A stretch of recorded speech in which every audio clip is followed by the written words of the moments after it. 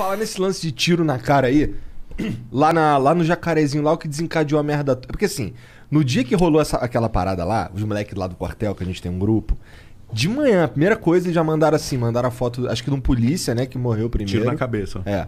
Tinha um polícia lá e mandou umas fotos assim do polícia morto. Falou assim: aí, negado, é o seguinte, quem tá na região do jacarezinho aí, ó, irmão, vai dar merda. Fica todo mundo, se esconde geral porque vai dar merda. E aí. Deu merda. Deu mesmo. E aí deu merda. Assim, eu já sabia antes de virar tudo, os moleques já tinham falado já no grupo. Cara, é. O que, que esse cara foi fazer lá, com todo respeito? Tu sabe o que, que ele foi fazer lá? Sei, sei, sei. Era uma operação Ah. contra o CV, Hum. denúncia de aliciamento de menores, molecada de 10, 8 anos trabalhando de avião no tráfico. Aí tinha inquérito instaurado, tinha um mandado de prisão, já tinha gente pra catar, tava indo buscar os caras. E aí no Jacarezinho tem aquelas barricadas, fora seu morro, né? E a, a, a equipe policial que foi lá foi para dar cumprimento aos mandados tal. Mas quando chegou para subir com o caveirão, tinha barricada. Você, como um bom atirador do exército, como um soldado reservista, deve se lembrar de um negócio chamado tiro amarrado. Não lembro. Não lembra? Você pega um local, ajusta teu tiro antes ali e você vai e coloca uma pedra para furar o pneu ali. Sim, sim, sim, sim, sim, sim, sim. Quando a pessoa sai do carro para furar para ver o pneu, você dá um tiro na cabeça dela. Então eles chegaram, os policiais vieram fazer uma operação com um carro blindado, deram de cara com a barricada. Um policial teve que sair para tirar a barricada. Quando ele saiu, tomou um tiro de fuzil na cabeça, explodiu a cabeça. É, tiro de fuzil é GG. Cara, esse cara é parceiro de alguém a vida inteira que nem vocês são. Você É. imagina, você. cê- Vocês não vão sair de casa nunca, que nem a gente, e tomar um tiro na cabeça. Deu show. É, é incidente. Do nada, É incidente. assim, né? Mas você não tá indo em direção a ele. A probabilidade de levar é muito menor do que de um Muito policial. menor. Infinitamente. menor, cara. Então, você entendeu? E assim, cara, família, filha, tudo igual. E aí eles foram, então, é, por causa da morte desse. Não, policial, era, ele- a operação já tava em andamento. Entendi. Chegou 50. Porra, tu já agarrou o bagulho. Tu é o carioca safado. Porra, chegou. Vai dar merda, não vai? Chegou 50 polícia. O primeiro que saiu tomou um, explodiu a cabeça. Vai- a- aí eu te Aí falo. fudeu, vai dar merda. Não, Igor, nesse momento, você como cidadão carioca, você queria que, a- a- a- que o Estado, não vou usar o termo polícia, que o Estado virasse e falasse, vamos voltar mais tarde que está muito perigoso? Não. O Estado não dá ré. O Estado avança. E tinha que avançar debaixo de fogo. E se teu amigo tomou um tiro, explodiu a cabeça dele, você imagina o teu sangue. Você foi soldado, cara. Aquele cara que tá do teu lado. O que o, o teu parceiro do rancho? Você for na situação e machucam ele, você vai olhar, você vai ficar doido, cara. Você não vai, ah, raiva, você- não, você vai, você vai, Vai perder a cabeça. Você vai terminar a operação. Você vai terminar a operação. E é o que eu falo, gente de bem, trabalhador, fica, fica numa cena dessa. Não. Se você trabalha, você fica. Eu vazo o mais rápido possível. Agora, se você pegou um fura porque você era um moleque enfiado no crime querendo pagar um sapo, virou pro traficante e falou: dá um fura que eu seguro, eu dou um, um fura na tua mão pra você peitar a polícia. E a hora que a polícia vem, você tá com fura, você recuar, depois como é que fica nossas contas? Eu, traficante chefe com você, eu não te dei o fuzil? Como é que você não segurou os caras? Você quer ser corrida como? Você entendeu? Então, assim, quem fica ali pra peitar não é entregador de flor. Não é gente normal. Entendeu? Não tô falando que todos são culpados tal. Sem hipocrisia, que o papo é reto, velho. Olha só. Mas assim, porra, começamos a operação, estamos em 50, viemos fazer valer a lei, mandado do juiz, nosso primeiro homem sai, a gente tá no nosso país, na nossa cidade e a gente é o Estado.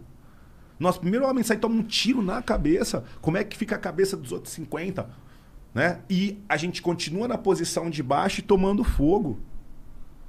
Aí você sai dali a ONU. é, A primeira matéria que eu peguei era é, Comissão de Direitos Humanos classifica como chacina ah, ocorrido no Jacarezinho. Eu falei, mas tinha uma.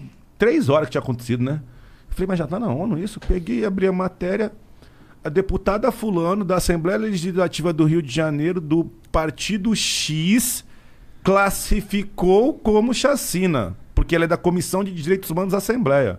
Ou seja, burocratizou uma parada que ela Não, já sabia. jogou os policiais com uma marcha. Mas ninguém, cara, ninguém mostrou uma imagem, ninguém entrou no mérito da família do policial morto. Momento algum, ninguém pensou que tinha um trabalhador ali, alguém que não estava na subversão.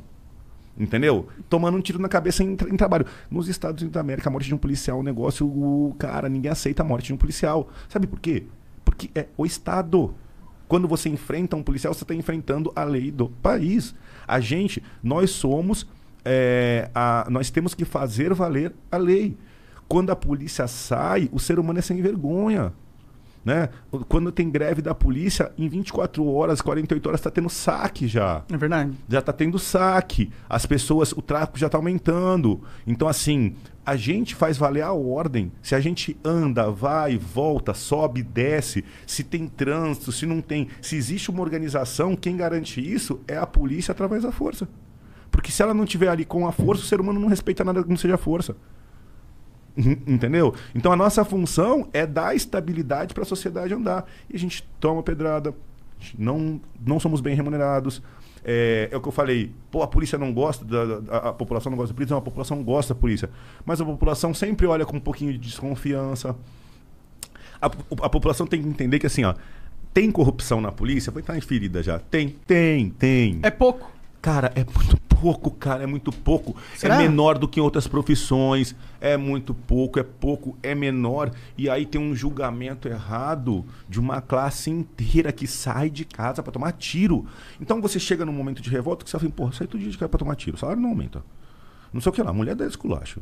E bibibi, não sei o que lá. Pô, no dia da folga eu tenho que ir dar aula para fazer mais um dinheirinho. Pô, um vizinho me chama de ladrão, porque ele acha que só porque eu estou na polícia eu sou corrupto. Entrou na polícia, já vai fazer o bloqueio, já vai tomar uma nota, já ficou, tá rico. Já virou ladrão. Pô, esse cara vai ficar. Eh, eh, você entendeu a cabeça desse cara? Agora, assim, nos Estados Unidos não. Nos Estados Unidos, um policial sai à rua, o cidadão olha para o policial, fala assim: caralho, velho, esse cara tá com essa roupa aí para tomar tiro no meu lugar. Se entrar um ladrão agora, o ladrão vai em cima dele, não em mim. É a vida dele. Cara, ele cuida da minha vida. Ô, oh, obrigado, cara. Obrigado por trabalhar nessa profissão que é mó merda. Com todo não, merda. Que é, que é, que é arriscada. Que é, que é arriscada pra segurar a bronca da, da gente, pra gente poder ir pra escola e voltar. Então lá o, o, cara, o americano, ele vê um homem das Forças Armadas, exército, velho. Não é nosso exército que, graças a Deus, não tá em guerra. O, tem tropa americana no mundo inteiro. Você se alistou nos Estados Unidos, você vai pro fronte. Você vai fazer manobra, treinamento. Porra, Igor, você conhece a caminhada. Você imagina uma manobra semi-real ali, o peso de uma manobra, você mais um soldado ali. Não, os moleques os moleque nas manobrinhas de merda já passavam mal, pô. Nas manobrinhas de merda. Você imagina a manobra real do exército americano, cara. Então, assim, aí aquele cara volta e sai do exército. Pô, você olha pra cara dele e fala, você serviu, pô, servi três anos à pátria. Pô, cara, é parabéns. Não. E aí agora eu tô sofrendo um bullying, vou aproveitar assim, da Cunha vítima de bullying. Tem muito, porra, tem muito policial Caralho, torcendo. cara desse tamanho. Foi sofrendo bullying. Cara, é muito policial torcendo o nariz pra mim, muito amigo torcendo Sério? o nariz, cara. Por culpa do seguidor, eu vou brigar com os seguidores agora, eu vou brigar aqui, tô brigando com a internet. Cara, assim, as pessoas descobriram muitas pessoas descobriram a, o legal do trabalho policial, que não é só no filme americano, que ele existe pelo canal. Aí as pessoas acham que existe o Pantera Negra, o da Cunha tal, e que ninguém mais é polícia.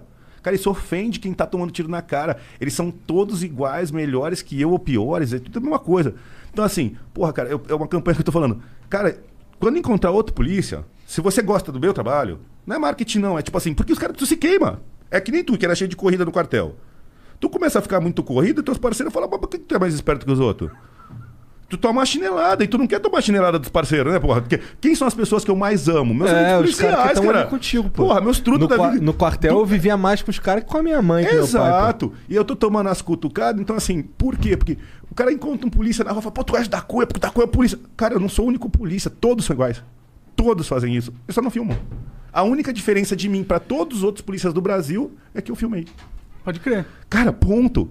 Só que assim, quando os caras vêm na rua, porra, vem tirar foto comigo, cara, muda a mentalidade do país. Sabe por quê? Se as pessoas começarem a tirar foto com o policial e ele sentir o que eu tô sentindo, a valorização que eu tô sentindo, ele vai cada vez querer trabalhar melhor involuntariamente, independente de salário, só pelo elogio.